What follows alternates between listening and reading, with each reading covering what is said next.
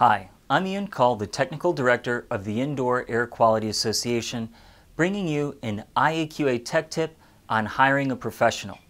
If you're a homeowner, property manager, or just someone with the sneaking suspicion that your home or workplace is affecting your health, you probably have two questions on your mind. Number one, is this something I myself can handle? And two, if not, who should I hire?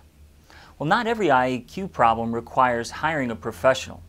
Let me give you a few tips. If you're having symptoms or just smelling an odor, keep a detailed log making note of any timing patterns or locations that appear to be more problematic. Walk through the space using all your senses, being thorough, trying to observe anything that's out of the ordinary. Note any wet spots, any visible mold, new materials or chemicals that may be off-gassing, and any damage to combustion venting. After identifying a problem, you yourself may be able to implement a solution. However, many times you'll be uncertain whether you've truly found the source of the problem, or you may not have the skills and equipment to implement a solution. At this point, you'll want to hire a professional. But who should you call? A great place to start is the website of the Indoor Air Quality Association.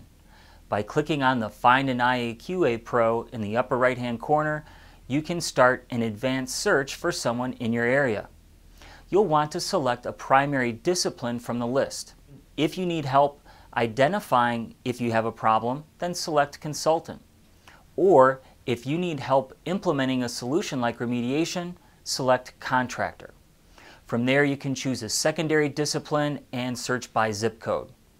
Once you get a list of professionals meeting your initial criteria, ask them about their experience, their licensing, their certifications, their insurance, their scope of work, and their pricing.